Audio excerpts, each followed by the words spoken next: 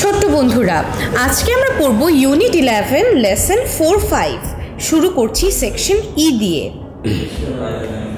বন্ধুরা, দেখো, আজকে আমরা শিখব to use the correct preposition preposition শব্দটির অর্থ হচ্ছে গিয়ে আমরা যখন কোনো বস্তু কোথায় অবস্থিত, এই বিষয়টা যখন ইংরেজিতে বোঝাতে যাই, তখন আমরা প্রিপোজিশন ব্যবহার করি। যেমন মনে করো উই লিভ ইন ঢাকা আমরা ঢাকায় বসবাস করি। এই যে ঢাকার আগে যে আমি ইন ব্যবহার করলাম, এই ইন শব্দটাকে আমরা বলব প্রিপোজিশন একইভাবে মনে করো the pen is on the surface এই যে সারফেসটার উপর আমি কলমটা রেখেছি যে অন দ্য সারফেস দিয়ে আমি কি বুঝালাম? প্রিপোজিশন বুঝালাম। অন হচ্ছে এখানে প্রিপোজিশন আমাকে কি করতে হবে? Complete the sentences with the correct preposition অর্থাৎ এখানে অনেকগুলো বাক্য আসবে যে বাক্যগুলোর মাঝখানে একটা শূন্যস্থান রয়েছে। আমাদেরকে শূন্যস্থানগুলো প্রিপোজিশন দিয়ে ঠিক করে বসাতে হবে। দেখো, একটা উদাহরণ এখানে দেয়া আছে।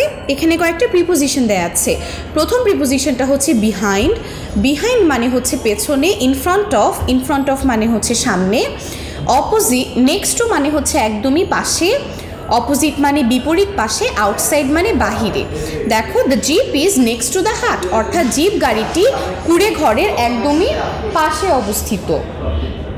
এরপরে দেখো, দ্বিতীয় যে বাক্যটি the school is dash the park অর্থাৎ স্কুল এবং পার্ক এই যে স্কুল এইখানে পার্ক এই যে মাঝখানে একটা রাস্তা যাচ্ছে রাস্তার দুই পাশে দুটো জিনিস না, এক পাশে স্কুল এবং অপর পাশে পার্ক।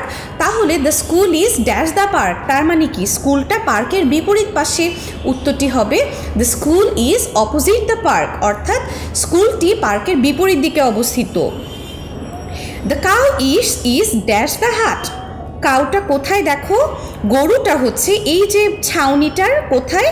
একদমই সামনে দাঁড়িয়ে আছে। তার মানে উত্তরটি হচ্ছে the cow is in front of the hut অর্থাৎ গরুটি এই যে এখানে আছে, হাট বা একটা ছাউনি, এটার একদম সামনে অবস্থিত। The girl is dash the tree অর্থাৎ মেয়েটা কিসের পিছনে? গাছের পেছনে। দেখো, গাছের পিছনে লুকিয়ে আছে। তাহলে উত্তর হচ্ছে the girl is behind the tree অর্থাৎ গাছের পেছনে দাঁড়িয়ে আছে। The butterflies are dash the window প্রজাপতিগুলো জানালার দেখো কোথায় রয়েছে? বাইরে, অর্থাৎ the butterflies are outside the window প্রজাপতিগুলো জানালার বাইরে। বন্ধুরা, এখন আমরা আর একটু এক্সারসাইজ করব। Look at the pictures below and complete the blanks with the appropriate words from the box অর্থাৎ এই যে ছবিটার দিকে তা দেখব আমরা, এই ছবিটি থেকে এখন আমরা এই ফিল ইন দ্য গ্যাপসগুলোতে এই গ্যাপগুলোতে আমরা সঠিক প্রিপোজিশনটি বসিয়ে দিব। দেখো, এখানে একটা আইসক্রিম দোকান এবং আরেকটা বেকারি শপ দেখা যাচ্ছে। একটা আইসক্রিম শপ একটা বেকারি শপ এই দুটি শপের অবস্থান আমরা কীভাবে বোঝাবো? The ice cream shop is the ice cream shop is beside the bakery shop অর্থাৎ আইসক্রিমের দোকানটা বেকারির দোকানটার একদমই পাশে অবস্থিত। দ্বিতীয়টি দেখো dash to see the national museum এটা আমাদের জাতীয় জাদুঘর। জাতীয় জাদুঘরটা দেখার জন্য আমাদেরকে কি করতে হবে? গো স্ট্রিট অর্থাৎ সোজা গেলেই আমি দেখতে পাবো। দেখো go street to see the national museum অর্থাৎ জাতীয় জাদুঘরটি দেখার জন্য তুমি সোজা রাস্তায় যাও। The sweet shop is on the dash of the canal অর্থাৎ এই খালটির কোন পাশে মিষ্টির দোকানটা দেখো তো বন্ধুরা।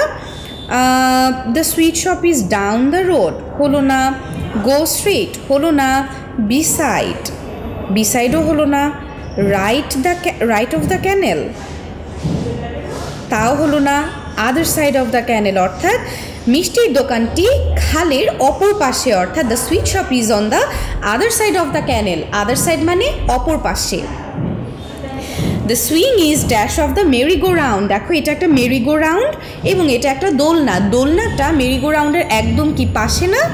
দেখো is beside of the merry go round হচ্ছে না।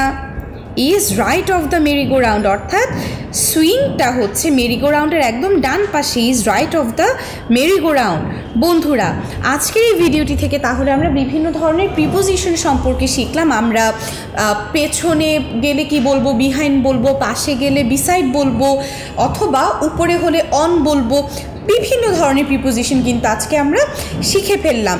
তোমরা যদি কোনো নতুন প্রিপোজিশন শিখে থাকো, আমাদেরকে কিন্তু কমেন্ট সেকশনে জানাতে একদমই ভুলবে না। তোমাদের সবার জন্য অনেক শুভকামনা।